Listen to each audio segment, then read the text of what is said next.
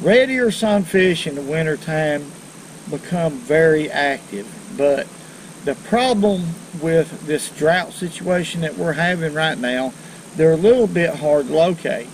They're not in the places that they normally would be. So what I'm doing is searching for them in places that you would look for them in drought situations. And that's going to be on the river or at the dam. That's the two places. Or at the end of bluffs. Three places really that that are prime spots for red ears in specific. And bluegill. So what I'm going to be using today, and I may mix it up, is two pound test mono loaded up on this 1000 size Daiwa. Now this is just an old Shakespeare rod. It's a two-piece rod. This rod is probably 25 years old. It will not break and I'll just keep using it. It's so old that the tip is bent. Bent at a downward, if I've caught so many fish with it, it's bent at a downward angle a little bit. And I'm going to be using a size 6 hook. That's a light wire Eagle Claw hook, Aberdeen, and a little bitty split shot, and half a night crawler. And I, the way I hook them is just one time like that. Looks a lot more natural in the water, and I get a lot of bites because of doing that. But yeah, we're going to just go down this river right here and look for eddies and see if we can find some. If we can't, we'll change up what we're doing and location. But that's what I want. They're delicious. Now the water temperature is 51 degrees on top this morning. 51. But right now we're in seven feet of water. So I'm just going to pitch towards those rocks right there. Now the current is pretty light this morning. So I'll be able to fish these spots pretty effective. Lee, now when it comes to big red ears or big bull gills, a lot of times I'll use the whole night crawler instead of the half. Now if we find them, that's what I'll do folks. Because there's some pretty good sized ones here on this river, but what I'm doing is just drifting down through here and if I get too fast, I'll bump up. I'm facing the current. And I'm just letting that bait barely tick the bottom. But I don't want to do it real quick. The water is cold. And these fish ain't going to do a thousand yard dash for a bait. They're just not going to do it. So that's how I'm searching for them. These eddies will always hold a few. But the question is, are they going to be big enough? The one I just put in the bucket, well, is barely big enough. I'm looking for fish uh, quite a bit bigger than that. But that's where those uh, shell cracker and big bluegill are, is in behind those rocks on the down current side. Um, that's just a little spotted bass, but it don't. There's no telling what could be behind those rocks. We'll let him go. I thought it was a big shell daddy to begin with and they're just big rocks like you see up there on the bank. That's what I'm fishing basically. They kind of look like those. And those fish you get, like I said, on the down current side of those rocks to, to wait for something to drift by so they can reach out there and get it. they don't want to fight the current all the time. Well, he knocked a fire out of it.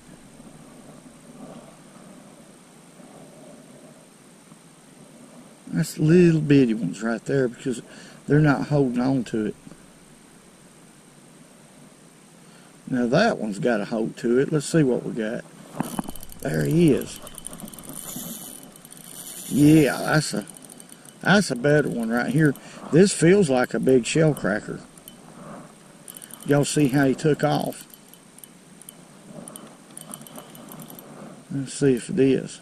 Yes, a big shell cracker. This is the kind of fish right here. That's what I'm looking for right there, folks. Right there. Yep. The bottom composition here, we can just, we'll lift him in there. Now that is a good one right there. That's what I'm looking for. Big shell cracker like that. Or red ear sunfish. That is some delicious eating right there. I knew the way he took off that he was a, he was a good one. That's it right there.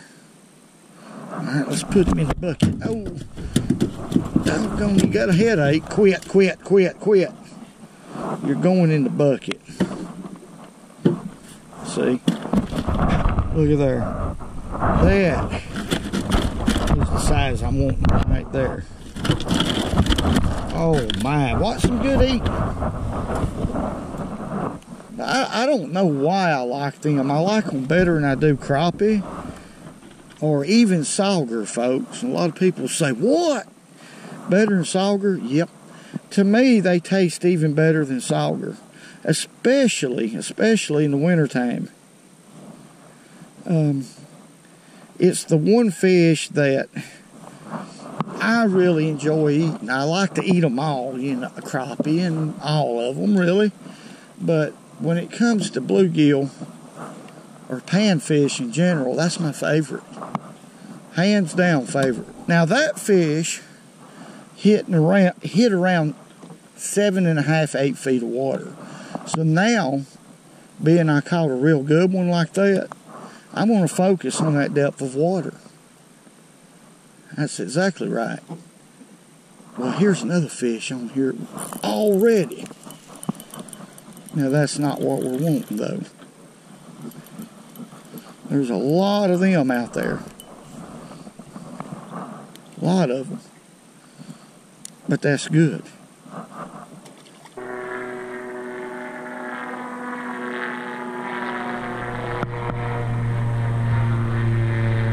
The plan, boss. The plan, boss. Boy, it's turned off nice right now, folks. I hope it stays this way. Because I can tell what I'm doing a lot better with this small split shot on. If I were to fish with a split shot much bigger, I would stay hung up all the time. So that's uh, the reason I'm using such a small split shot it don't take it that long to, to get to the bottom. Actually, that current helps it get to the bottom a little bit quicker than what you might think. But um, yeah, I can tell, I can really feel some of those rocks down there, and that's that's a good deal. I can jump them.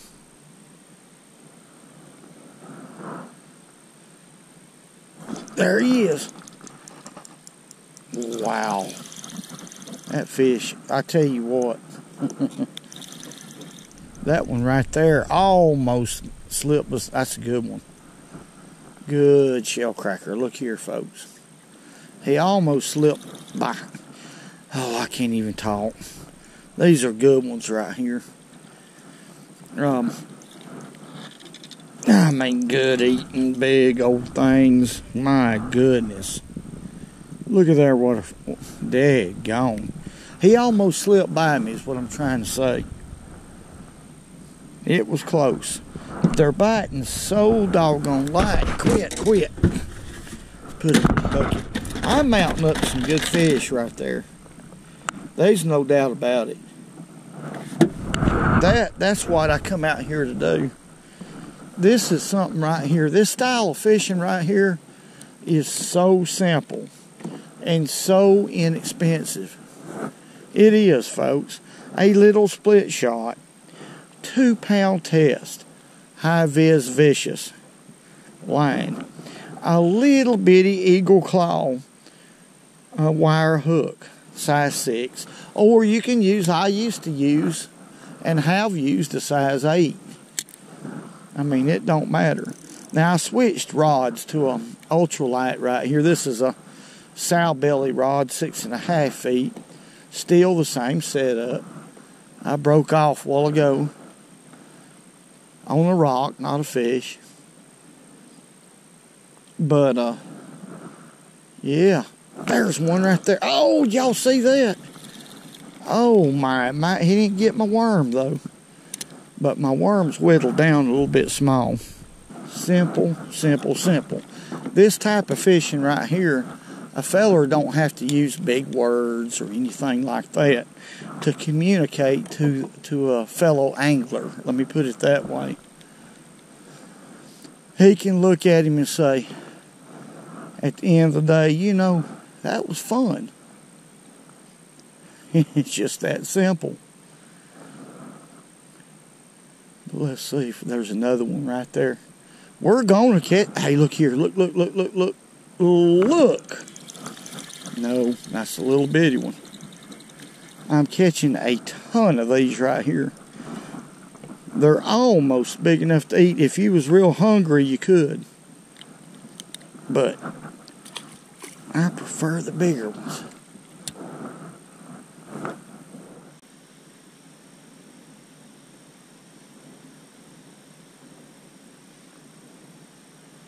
There he is. There he is. Light bites. Golly bum. That fish is pulling. I'm telling you folks, when you hook one, you know it. They are so strong. And there's actually another another shell cracker right behind him. What I've done right here is I've found the mother lobe of shell daddies. And that is a great old good. I might be able to lift him. Let's see. Oh, boy, I don't. It's Almost too much. Now, you talking about having some fun. I'm having it. A blessing.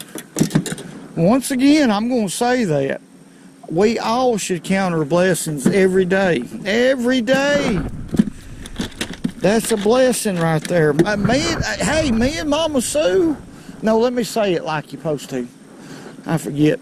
Mama Sue and I, okay, are going to eat tonight.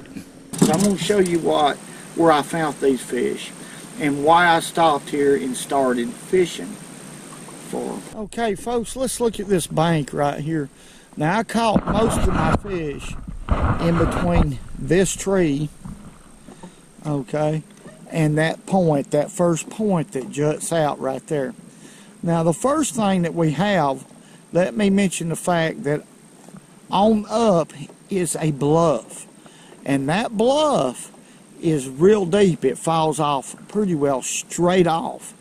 Okay, this is actually the end of the bluff and a lot of things is going on right here. Instead of dropping off 14, 15 feet of water within just a few feet from the bluff, this has a shallower type bank that slopes downward and comes on out several, several yards before dropping off in, into the actual 15, 16 feet of water. Okay, so you have a rocky, shelly, sandy bottom indication of what the bottom looks like here at this place is real simple. Look up, up, up on the bank. You can see a lot of sand and scattered rock. Well, the same thing basically is happening out here. Sand and scattered rock. Now right here, you have a pea gravel composition bottom. You have pea gravel on the on the bank. Well, there's pea gravel mixed up in with this sand and a few big surface rocks. And the difference is these fish jump up on these areas, these tapering drops like this, and, and that's where they'll ambush and feed for the winter. They're waiting for things to wash down to them. Um, they they're not going to go real deep anyway. I mean, you I have caught shell cracker down 20 feet on the hard hard winters, where it was real hard hard winters. But usually, I'm not going to look no deeper than anywhere from six to uh, 12 feet deep. You know, I mean, I'm just not because that's not they're not going to go much deeper than that. Let's catch another one right here if we can. I was just saying, I caught a couple right here to begin with. Pretty good ones. And that fish hit it. He, he hit it, then he dropped it. I believe that's the first one that's done that. There's, there's a bite right there. That fish is moving this way. Let's, let's get him. Let's see what we got. That's going to be a bluegill right there. Let's see if he's big enough to eat. I would think so, wouldn't y'all? He's big as my hand. Let's put him in the bucket. If they're big enough, I'm not throwing them back. Yeah, he's big enough. He's plenty big enough. But there's a lot of difference in the way a, a bluegill fights and a a shell cracker. There's a big difference. A shell cracker, I don't know why or how physically, but they're stronger. They're, they're just a lot stronger fish. They're just like any other fish. The, the better red ear and bluegill are just in certain places, folks. You just have to to hunt them out. Just have to find them these river systems are big and it takes a little time, but now you can do this. This is something that anybody can do. And have fun, you can have fun doing it too. There he is. Yes, sir. Oh, my. Oh, golly. This ain't, this is a lot of fun. Folks, this is a lot of fun. Look here. If you ain't done any shell cracker fishing in the winter, if you haven't, oh my, I would suggest anybody doing that. Let's see. I had him hooked just exactly right because it ain't nothing but a lot of fun. A lot of fun. Quit. You don't do that you you don't do that. What you do is you get in that bucket right there. Okay? It is. It's just a lot of fun. Uh, I'm enjoying this. Like I said, I, I love this stuff. I mean, I'm enjoying this just as good as catching some big slab crappie. I sure am. This is a simple simple little technique right here. Walmart night crawlers, folks. And that's all there are to it. Skippity doo ah, skippity eh? My oh my, what a wonderful day! Plenty of sunshine heading my way. Skippity doo dah, skippity eh? You know, folks the truth of the matter is, well, I just got to thinking. That is a very simple technique, but that's probably one of the most effective ways that you can catch shell cracker in the wintertime.